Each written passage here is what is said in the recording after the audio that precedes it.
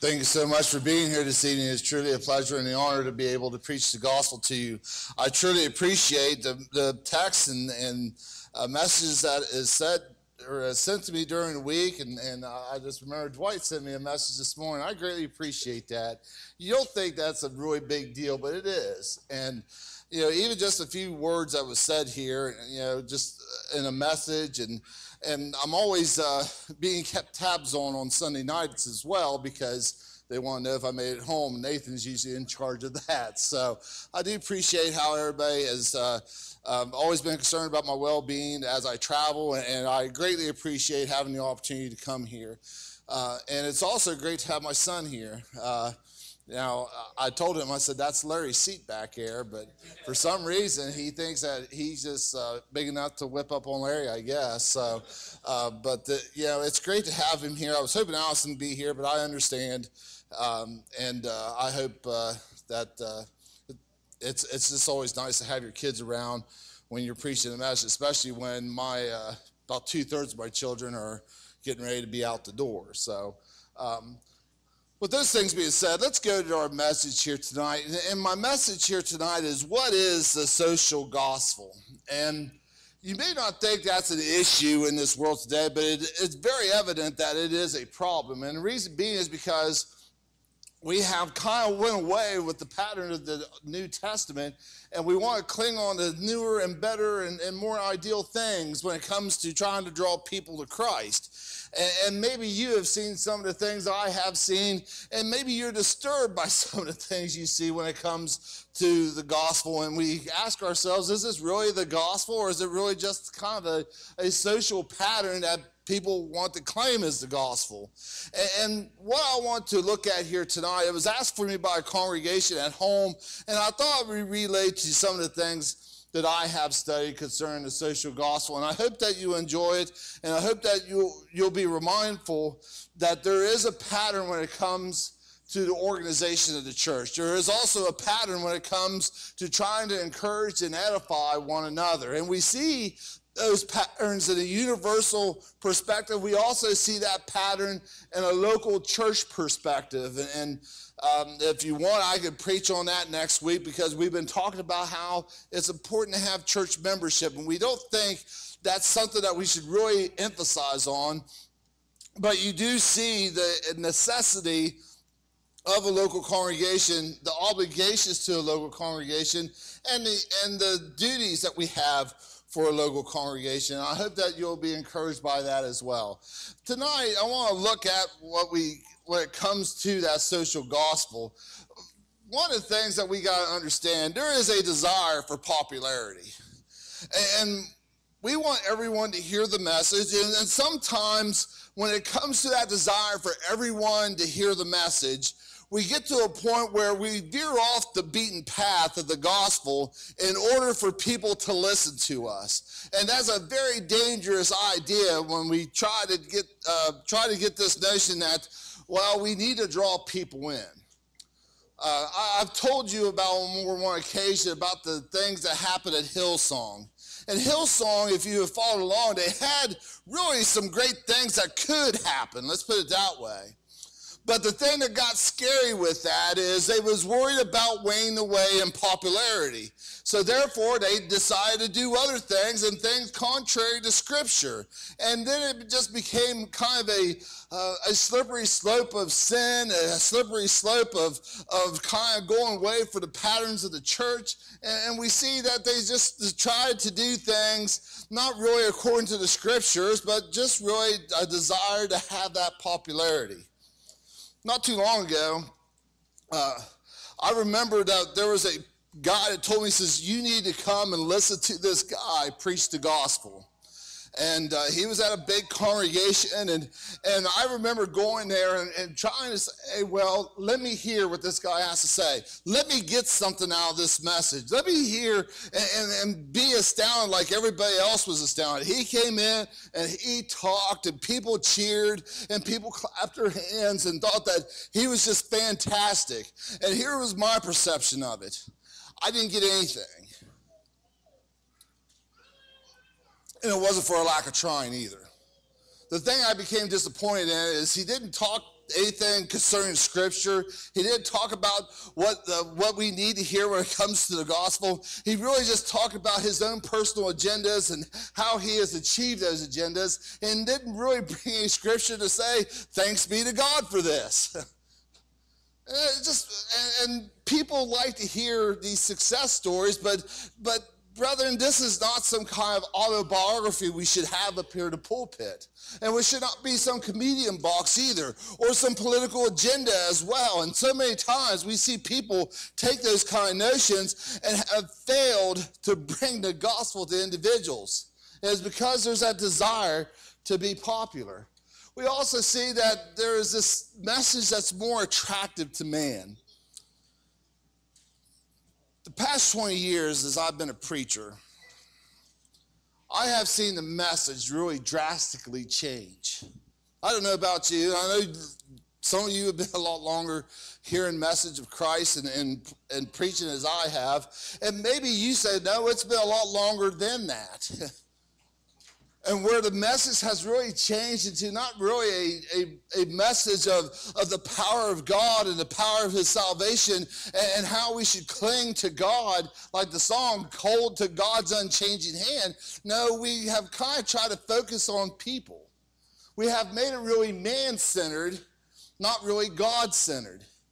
And when we make it kind of man centered, someone's going to be missed out in the mix, believe it or not. And then we also have some people that will take some of the truth, or maybe all the truth, that offends. We have been so scared that we're going to upset someone that we are willing to sacrifice the scriptures for it, believe it or not. And when we get to the notion that we're worried about offending someone, we have also made it a, a dangerous idea that there's no application to anyone one of the things uh, to go back to that Hillsong, Hillsong situation, there was a uh, there was a young man that was very active in the congregation, but he was also openly gay. And for the longest time, they had no problem with him doing these things in the church and him having this kind of lifestyle. And then he has this desire to do bigger things. And when he had a desire to do bigger things, they said, No, no, no, you can't do that. And they said, Well, why not? He says, Because you're gay. You want to be my next question? Why don't you stop me a little bit further back? Why do you think it's an issue now and it wasn't an issue when I was doing it three years ago? Why was it a big issue when I was trying to do all these things to help build up this congregation that you started? It caused a problem. It's because they were afraid to upset somebody. And there's where, once again, we become to preach these things and we're trying to focus on lifestyles of, of the world and not really the lifestyles of God and Christ and have that like manner. And then we try to focus on these non biblical elements of popular appeal. I talk about my friend Brian sometimes. He's from back in Tyler County. And Brian, Brian's got all these tattoos on him and, and, he's got piercings. And, and, you know, one of the things I tell Brian is like, you don't realize how many people you could draw closer to Christ. And some people, when I say that, they probably think automatically, well, it's because of the way he looks. It's not necessarily the way he looks. It's the way he has transformed. When you look at the, Samaritan, the, the, Samaritan woman at the well, you see a transformation. You don't need to know she's from Samaria. You don't need to know about her past. You do need to know that when she heard about this water she never has to thirst for again, she was willing to drop everything and go back in town and tell people about it. But what is the reason why we bring up those things? Because we say to ourselves, the most unlikely individuals will listen. But we forget about the importance of that transformation. We forget about how this individual, no matter what the situation is, just like Paul tells us as that scripture was read there, it tells us it doesn't matter where you're from, it doesn't matter what gender you are, it doesn't matter who you are, because Christ is all in all. And when we try to focus on that, if we try to focus on the, what God expects from you and I, maybe we can bring some people closer to God. Think about this. What is our mission today? Brethren, our mission is to proclaim the truth. You look there in Ephesians chapter 4. And, and, you look at Ephesians chapter 4 and you go through 11 through 17, if I'm not mistaken, or 11 through 16.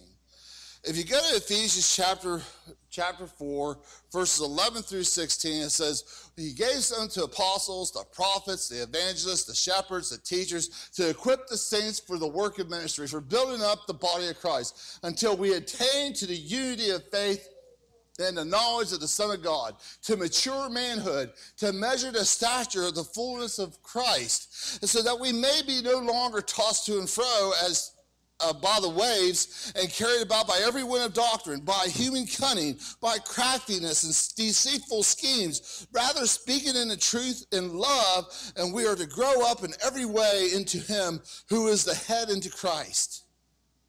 And for whom the whole body, joined and held together by every joint which is equipped, so when each part is working properly, makes the body grow so that it builds itself up in love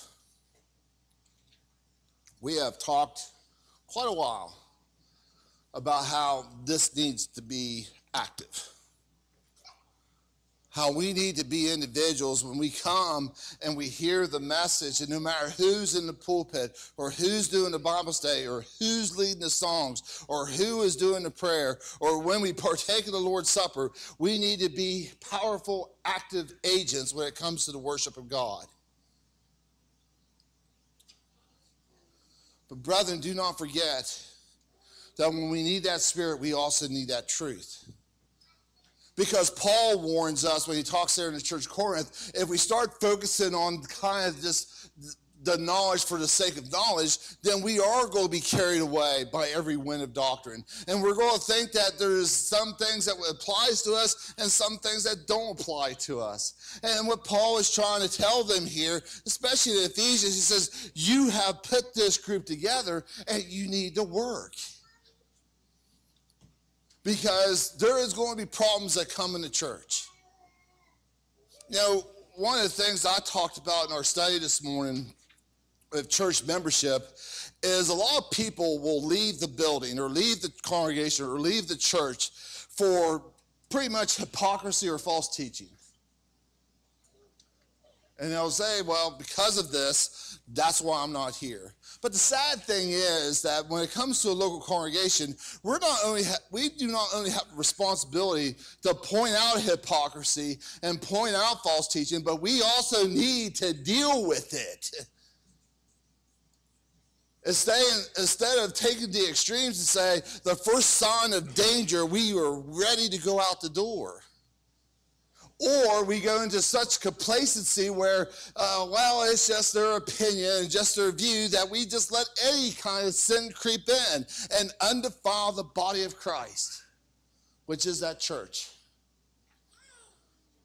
Brethren, we need to proclaim the truth. We need to continue to proclaim that truth. Paul tells us in 1 Timothy chapter 3, verse 14, and if you go on to, to verse 16, and he tells us, he goes, I hope to come to you so soon, but I am writing these things so that you, if I delay, you know how one ought to behave in the household of God, which is the church of the living God and the pillar of buttress of the truth. And great indeed, we confess, is the mystery of godliness. And he was manifested in the flesh, vindicated by the Spirit, seen by angels, proclaimed among the nations, believed on in the world, and taken up in glory. When a person comes through that door, they should have the conclusion I have come to a place to worship the living God. Last year,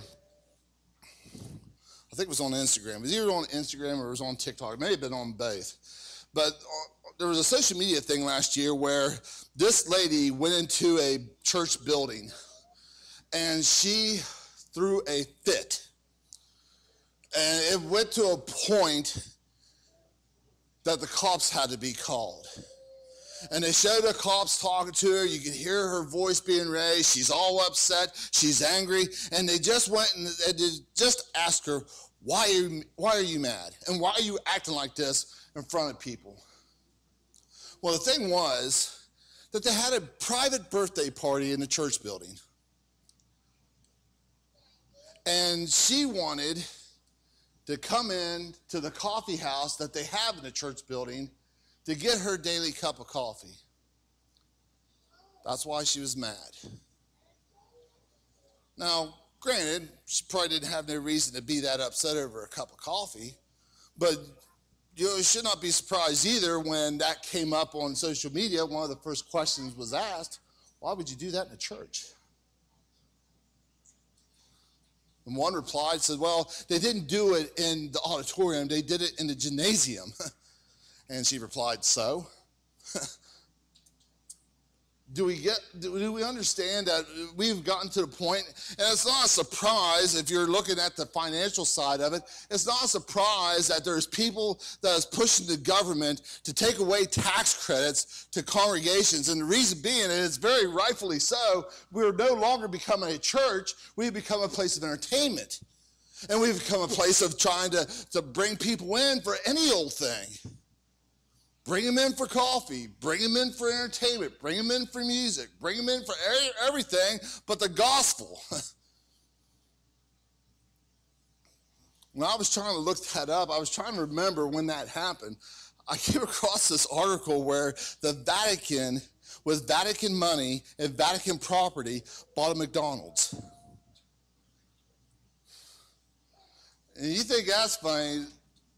The Catholic people do not think that's funny. I think it's funny. but the Catholic people is a different story. What was the question that was asked? Why do we spend money for this? then kind of top it off said, Why would you spend money for that bad of food, too? but that's just it, brethren. There's not, we shouldn't be shocked when we have been threatened like this, you know, I get threatened like this because, you know, uh, it's because I used a tax credit. But it's funny that the things I preach on is put on the same parallel as a gymnasium. The, the time I come out here and present a message to you is on the same parallel as a coffee house.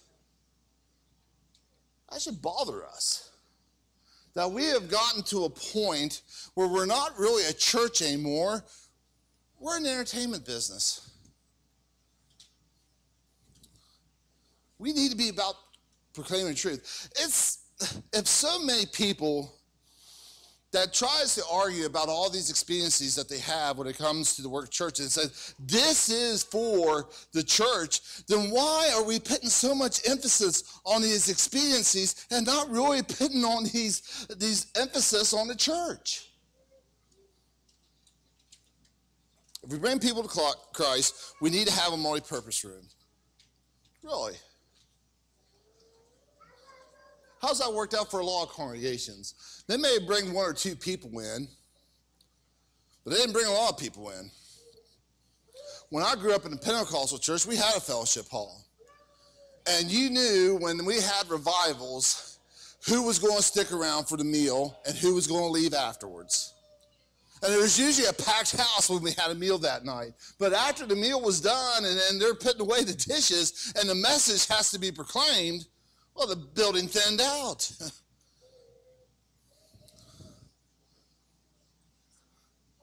it's not some Church of Christ issue. it is a church problem. And, brother, if we're not proclaiming the truth, we have no business being a church.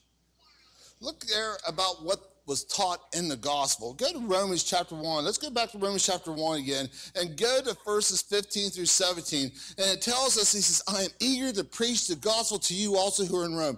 I am not ashamed of that gospel, for it is the power of salvation to everyone who believes, to the Jew first and also to the Greek. For it is that the righteousness of God is revealed from faith to faith, as it is written, the righteous shall live by faith. Why was Paul excited to come and preach the message? You ever notice that Paul says it's not, I'm not going to try to focus on one particular group here? Look how many today think that our worship needs to be centered around our youth. The youth of our future. The youth are, is our future. And we need to focus on, well, the youth is really your present. it's never been your future, it's your present. Because if you say they're your future, you're not going to deal with them until the future. And you really need to deal with them now. But there is those congregations that feel like they have to focus on the youth, or those congregations that have to uh, to feed uh, and tend to the older generation, or we should be centered around the millennials, or centered around Generation X, or we should be centered around in, in, in a black and white or Hispanic community. Uh, the worship needs to be centered around God. Remember last week? I think I said it here last week. I went to a congregation over, Dayton, uh, over at Dayton High. Jason Reeder was there at the time, and, and he invited me to his congregation. He invited me to speak there, and it was a dominant black congregation, and I had a blast. And the reason being is because they agreed with everything I said. I could say, "It's sunny out today." Mm-hmm. I think it's going to rain tomorrow. Oh, amen, brother. I mean, everything I said, it was either mm-hmm, amen, it was just over and over again. It got me pumped. But here's the cool thing about this, brethren. The message didn't change at all. It is the same message that we speak about Christ here that I spoke about over in Dayton. The message doesn't change. And we think that because we go into a Hispanic community, or we go to a black community, or we go to a dominantly white community, or we go to an older congregation, or we go to a younger congregation, the message has to change. It does not. Paul never changed his message. when the thing that was he told us he says i preach the gospel and i'm excited to preach it to you in rome. And then if you continue on there in uh, 1 corinthians chapter 2 and if you start there in verse 1 he says when i came to you brothers i did not come proclaiming to you the testimony of god with lofty speech or wisdom for I decided to know nothing among you except Jesus Christ and Him crucified.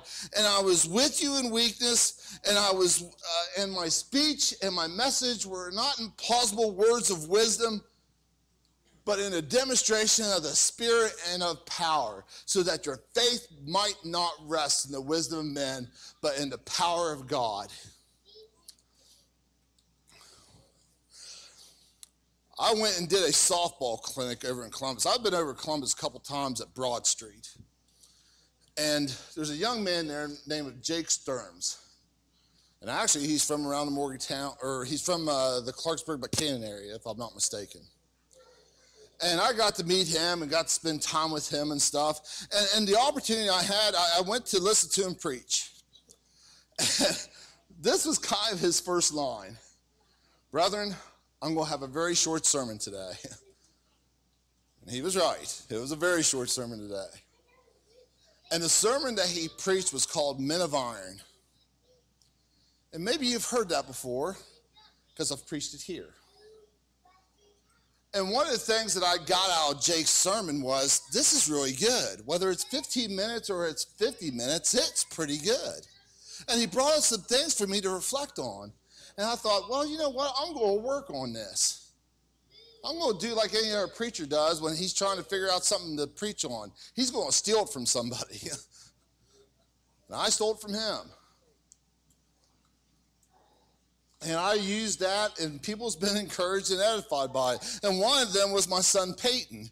And he did just like any other preacher did. He stole the sermon from his dad, and he preached it over to Fairmont. He preached it over to Belleville. And they've been encouraged and edified by it. And then I took that sermon and I went to Broad Street and I preached it to them. And the reason I did that was not to show, hey, look, I did this a lot better than you did. No, that wasn't the point at all. I said, Jake, you look at this. You took a 15 minute sermon and you say to yourself, wow, it's only short and it doesn't really have a lot of meat. And, and, and maybe people will get disappointed by this. But it brought a guy to take it back home in his congregation and tell his brethren about it. It took my son to go to two congregations because he thought it was cool enough to tell other people about it. You took this 15 minute sermon and you have filled the brethren with this seed of knowledge. It doesn't have to be this kind of a, we got this idea that if we do quick jokes and, and confusing speech, then it's a good message. But we also put ourselves in trouble when we don't put any lackluster in it, and, or we have lackluster in it it's boring, and we also feel that's a good message. But the thing is, brethren, when we could get something out of this powerful message that we give, whether it's this morning or it's this evening or it's Wednesday, get something out of it.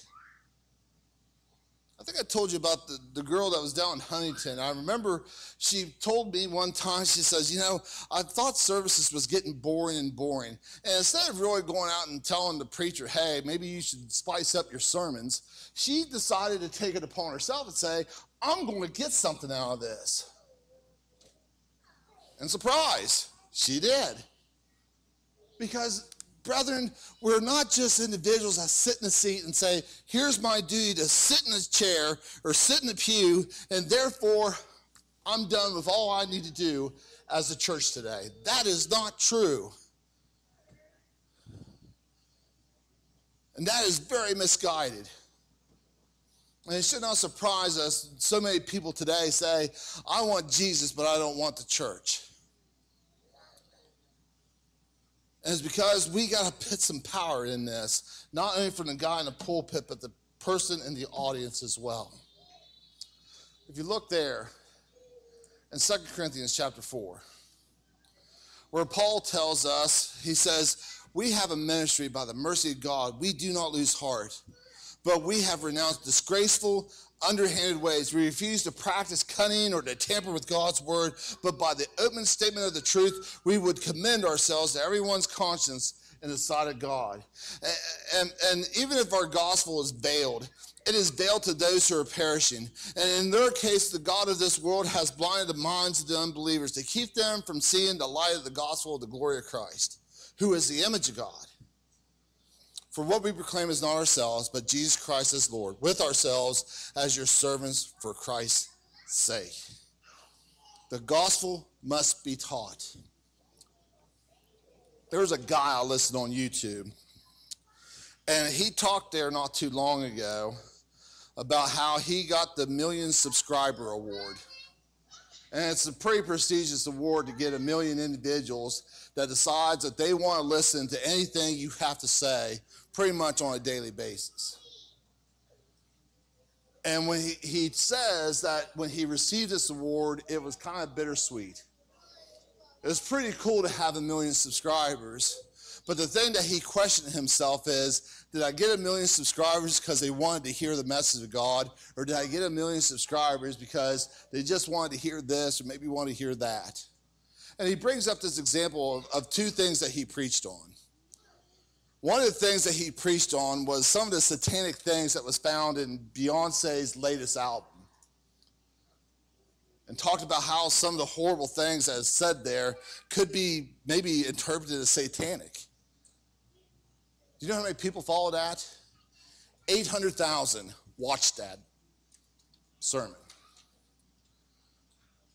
And this is the thing that he became disappointed with. He also preached another sermon. It was the seven last teachings of Jesus Christ. 14,000 people tuned in. That's why he was upset. Because as soon as Beyonce's name popped up, everybody wanted to know what he thought of it. But when Jesus Christ's name pops up, nobody doesn't want to listen. And sometimes that gets us to a point that we get discouraged and we say to ourselves, maybe we need to do something else. But, brethren, don't think for one bit Paul had his problems. And don't think one bit that Peter had his problems. And don't think one bit when Christ, in all his perfection and majesty, did not have his problems with the Jewish brethren. That gospel must be preached. And also, that gospel must be preached in its entirety. Look there in 2 Timothy chapter 4, verses 1 through 5. Paul says, he says, I charge you in the presence of God and of Christ Jesus, who is the judge, the living and the dead, and by his appearing, appearing in his kingdom.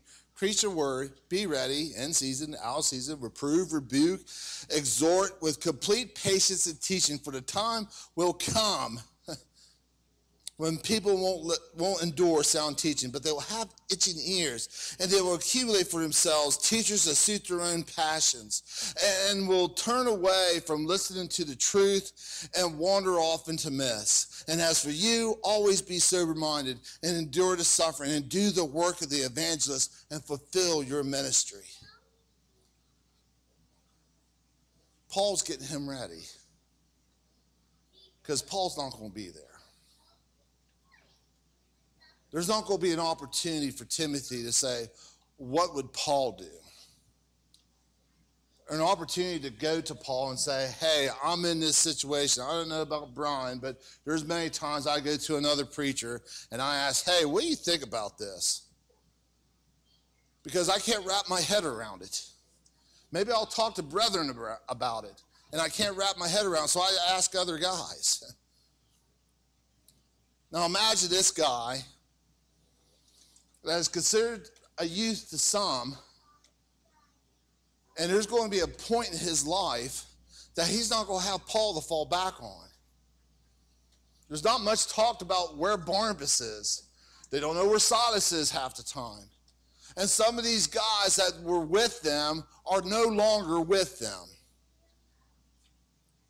You know, we think about Demas. Demas was with them for a spell. Now he is forsaken. Onesimus was with them, but he went back because he was in trouble. And Paul's telling him when it's you that has to take the turn, preach the message. And don't skip out on something. You know, there's been times I have attempted to cook and sometimes they have not been very successful. And the reason being is because I do miss out on maybe one important ingredient. You may think it's not it's obvious to miss out the chocolate chips and the chocolate chip cookies. Oh, that's a big problem there, Jay. But what about the vanilla extract? that's a little bit important too. Not much. You wouldn't think it'd be missed, but it is.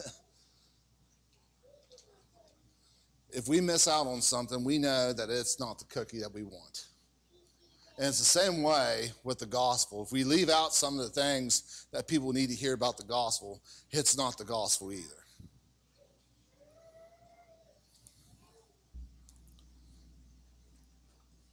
A few things, and then the lesson will be yours.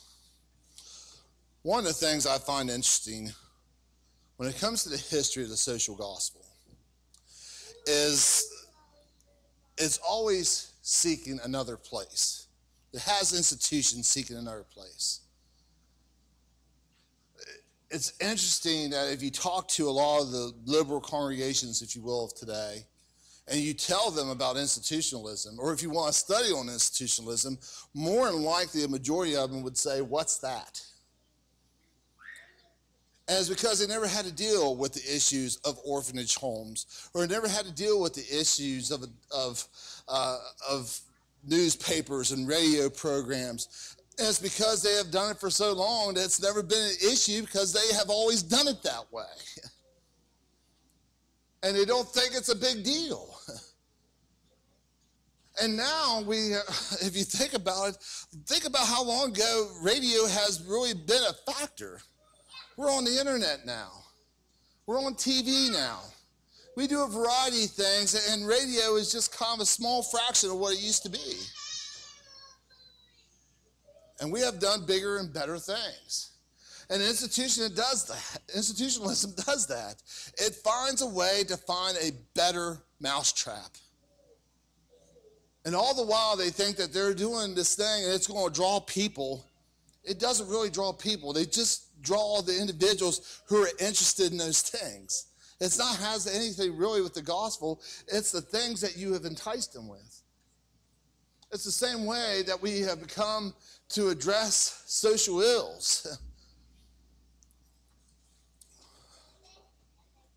While we need to preach things in season, out season, it seems like sometimes we make this kind of a bully pulpit. I hope some of you understand when I say a bully pulpit. And it seems like we go out and we try to attack anyone who is against us. and we really tried to do, not really to bring people closer to God, we tried to do an emphasis of pushing them farther away. Or we try to find ways to attract the numbers to succeed. We think if a church is successful, then it has to have a large number in its congregation. And it's got to have a lot of money, and it's got to have a big auditorium, and it's got to have the most eloquent speakers, and they got to be paid very well too. And we have great leadership, we have great classes, and we and we say in order to be a successful congregation, you got to have this. And that's been kind of the mentality of televangelism for quite some time now. And also, we think that we got to do these things by entertainment. There's a couple pictures I want to show you here. And like I said, the lesson will be yours. Maybe some of you remember this lady. Her name is Amy Grant. And, and this also may show my age too. but Amy Grant was really popular in the early 90s. And I don't think some people realize that she was also a Christian singer. And she'd done a lot more music, a lot more albums, and a lot more, she got a few more awards when she was a Christian singer. But the way she rose to stardom is when she put the Christian music aside and started to focus on pop music. That didn't really focus on God. It focused on things that was going on in her life and not spiritual things that was going on in her life. She talks about her relationship with her husband, which is Vince Gill. She talks about the relationship she has with her child. That's where baby baby comes from. The way she rose to stardom wasn't because of God, or wasn't because she focused on God. It was because she focused on the things of the world. Maybe some of you remember the group Stryper. Once again, this is showing my age because it's a hair band. Back in the 80s, Stryper made this statement. He said, they said, We are rock and roll evangelists. Stryper is a modern day John the Baptist crying in the world of rock for those who don't have a life of Christ to turn on the light switch. And when they became popular, it was with one song, honestly. And if you look at the lyrics and you try to listen what the lyrics is all about, yeah, maybe you can make an argument that maybe they're talking about this devotion to God, but it sounds like it's a devotion to a significant other. And then Southtown, Southtown popped up, or POD, payable on death. And I didn't realize, and this is, shows my age as well, I didn't realize that they put out a song called Southtown. And for the longest time, I didn't realize they were a Christian band. Because Southtown was about the struggles of growing up in Southern California. But they talk about this message that they have about bringing divine inspiration through their music. And then there was another group called Skillet. And, and, my point with all this is simple. And I'm not telling you you should listen, you should not listen to any of these individuals. That's not my point here. My point here is when they tried to make this idea that they want to go about trying to bring music and trying to bring people to God through their music, the only time they were ever successful was through their devotion to the world.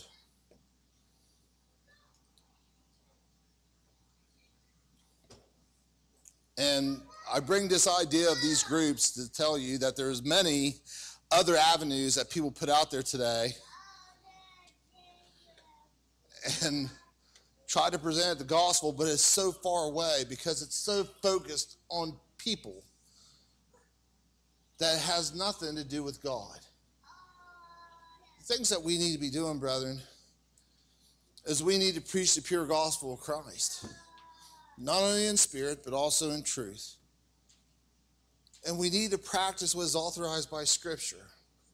You know, one of the things I kind of quizzed my brethren on this morning, I said, Where do you find in Scripture where it says, Speak where the Bible speaks and be silent where the Bible's silent?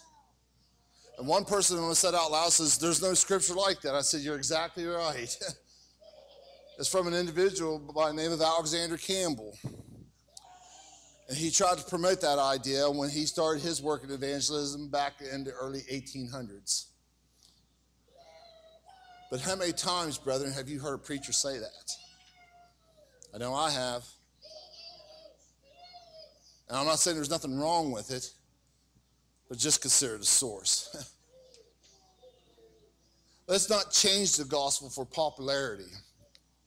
Colin Cowherd said it best when he talked about sports teams doing certain things, and it just seems like it's taken away from the nature of the sport.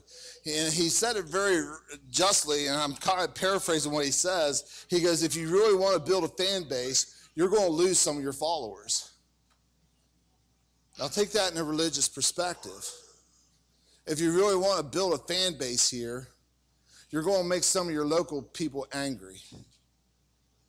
And unfortunately, in the process, when you do that, you're taking away from probably the scriptures and the gospel of Jesus Christ. Let's not change the work of the church from spiritual to social.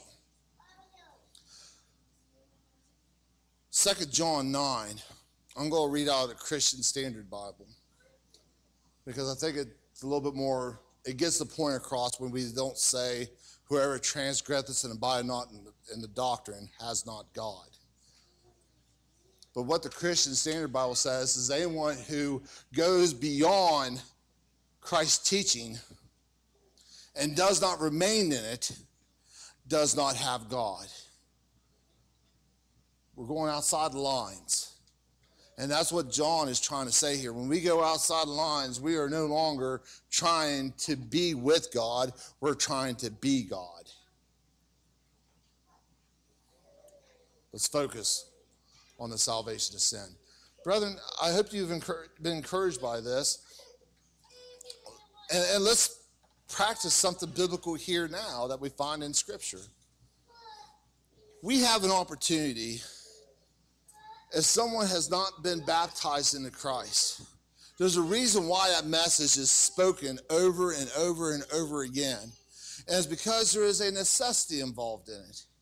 And this is why we have taken our resources and we made sure that there is a baptistry here and we make sure that there is clothes to change into and we make sure that there is individuals that is capable of baptizing you. And the reason being is very simple because we see through christ's teaching we see through paul's teaching we see through peter's teaching all inspired by god how important it is to have this available to you when you want the opportunity And the only one that could deny you in baptism is you. If you come up here tonight and you say, I want to be baptized in Christ, and I tell you no, don't worry, they'll probably kick me out and they'll have somebody come and baptize you into Christ. Sometimes I feel that way. No, I'm just kidding. When it comes to repentance, look how many times Christ tells us about making a change. That's the power of the gospel as well. When we hear that message and we say to ourselves, I need to do something about it. And that's available here tonight. Maybe we need to pray about something. There's a reason why Jesus put out a pattern of how important it is to pray. And emphasize that not only from his command, but also has done it through his example as well. And we could do something about that. If we're struggling with something, uh, maybe if we want to just give glory to God tonight, that's fine too. Whatever the case may be, let's not neglect the opportunity to pray tonight. And if we need to respond, let's do so now. While we stand, while we sing.